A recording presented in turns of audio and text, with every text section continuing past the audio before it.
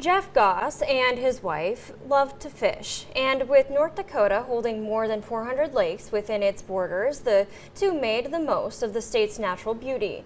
However, Goss saw a glaring problem. There were some people in the community who didn't get the same opportunity. Why? Because many ramps and parks in North Dakota are not disability friendly, so Goss decided to do something about it.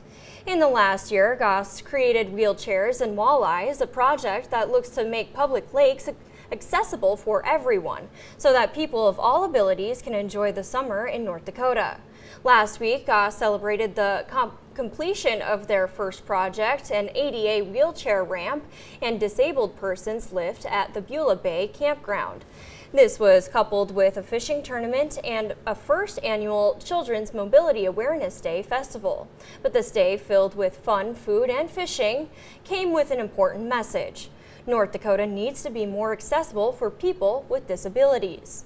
I just think it's critical in today's day and age who we are, where we are as a country. Um, I don't understand why it is that we can have the third largest reservoir in the United States with 1,300 plus miles of shoreline and have less uh, adaptive needs access than we do at a local Walmart. I mean, it, it, so you think about it, it, it, it doesn't make sense.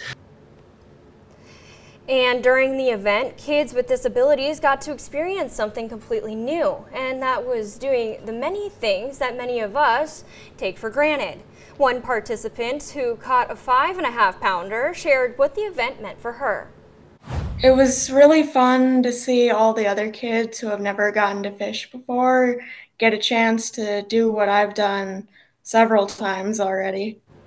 Wheelchairs and Walleyes is already working on their next batch of projects to ensure that every kid and every family doesn't miss out on a chance to enjoy the beauty of North Dakota.